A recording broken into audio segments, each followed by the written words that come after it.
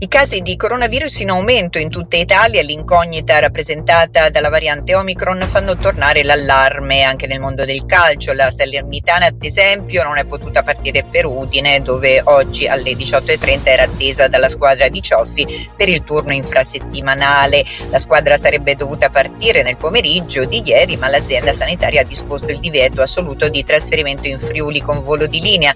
Il gruppo squadra si è sottoposto a un altro giro di tamponi molecolari che hanno confermato la positività emerse. La decisione ufficiale di non partire quindi la decisione è stata ufficializzata dal club campano nella notte. In Serie B intanto è stata inviata per Covid Lecce Vicenza. La gara era prevista lunedì 20 dicembre alle 20.30 come posticipo della diciottesima giornata.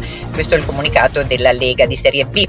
Preso atto della comunicazione dell'azienda sanitaria di Lecce avente oggetto attestato di quarantena collettivo con divieto di spostamento documento con la quale il Dipartimento di Igiene ha disposto per i salentini la quarantena fiduciaria al domicilio con divieto assoluto di spostamento per i soggetti qualificati, la Lega DB ha disposto il rinvio a data da destinarsi della gara Lecce-Lanerossi Vicenza.